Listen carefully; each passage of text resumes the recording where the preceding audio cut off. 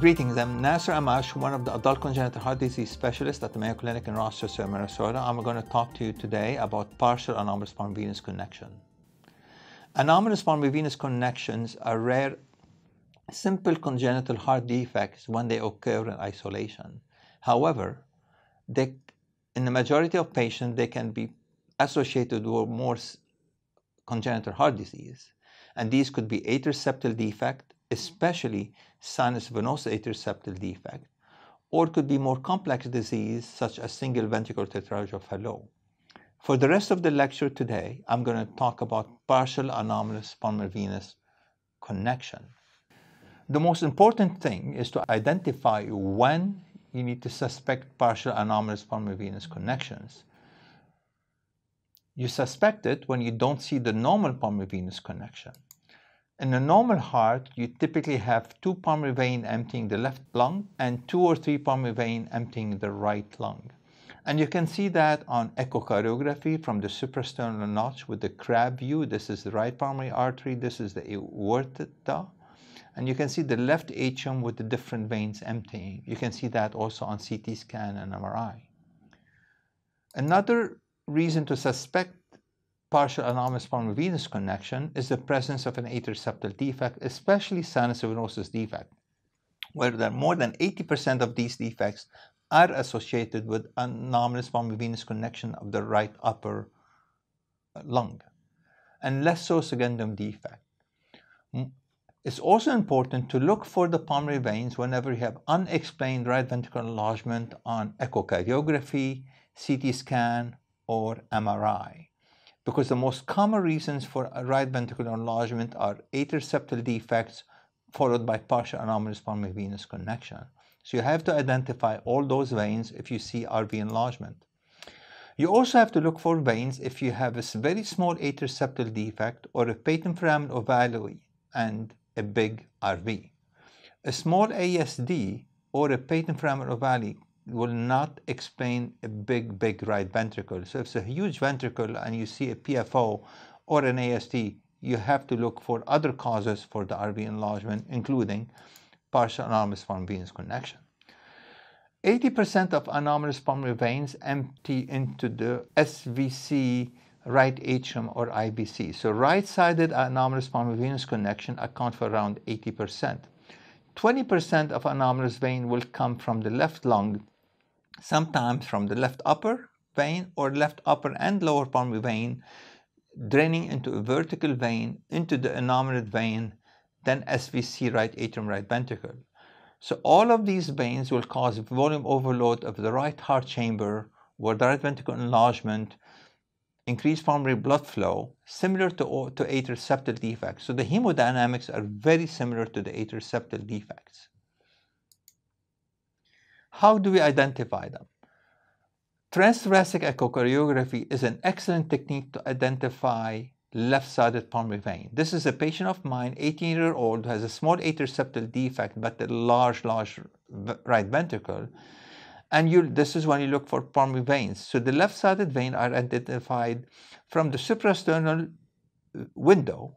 You identify the transverse aortic arch the innominate vein is on the top and you go to short axis and put color flow signal coming from the left lung and you can see there's a big vertical vein would flow into the innominate vein emptying into then into the SVC.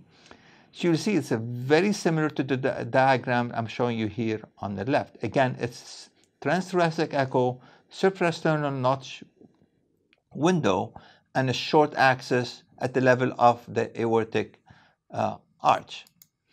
For the right-sided veins, although you can see them sometimes on transthoracic echocardiogram, the best technique will be CT scan, MRI, or transesophageal echocardiogram.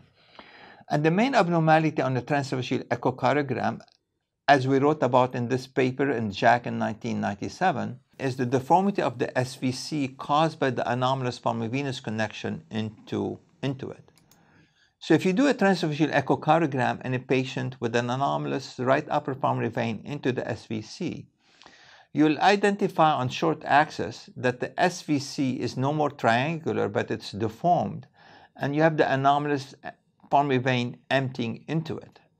compared to the normal heart shown in the lower figure and the lower uh, video clip, where the SVC is disconnected from the anomalous vein, and you can see that here. That's the SVC, that's the right pulmonary artery, that's the aorta, and you can see the pulmonary vein, the right side of the pulmonary vein is not connected. You see there's a tissue between the two when there's a connection, you see, don't see any tissue between the upper pulmonary vein and the superior vena cava. And you can do color flow Doppler or contrast imaging and confirm that. Anomalous pulmonary venous connection can be also noted on CT scan and MRI. So this is an anomalous pulmonary vein emptying into the SVC. And you can see that on MRI imaging you can see that all the anomalous left-sided vein are also identified on MRI imaging. And you can, I'm going to go slowly over that. So you see this is a vein emptying up into, through a vertical vein, connecting into the SVC and all the way down. Here we go. That's the SVC and the anomalous vein into the SVC. Again, let's do it again. Let's backward. So that's the vein, the vertical vein going up, connecting with anomalous vein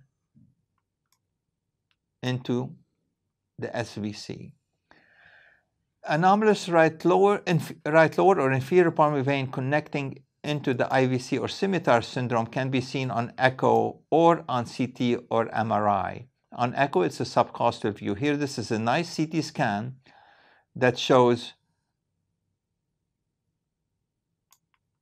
right-sided pulmonary vein emptying into the IVC at the level of the diaphragm.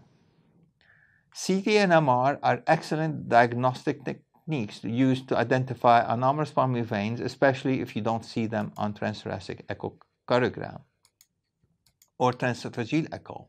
Remember, on chest x-ray, in patients with scimitar syndrome, Instead, in, in addition to the scimitar, you have the heart silhouette is shifted to the right because of dysplasia and hypoplasia of the right lobe of the lung. Like atrial septal defect, anomalous pulmonary venous connection might require surgical repair whenever there's RV volume overload or in the presence of associated symptoms of exertional dyspnea or fatigue. The presentation of anomalous pulmonary venous connection in adult, which is partial anomalous pulmonary venous connection is similar to that of atrial septal defect. For example, if you have somebody with an ASD and the right anomalous venous connection, you see a graphic on the left, you see this atrial septal defect, you see the anomalous vein empty into the SVC. And what the surgeons do is baffle those anomalous vein into the left atrium through the atrial septal defect and they have to enlarge the superior vena cava on the top or transected and connected to the right atrial appendage.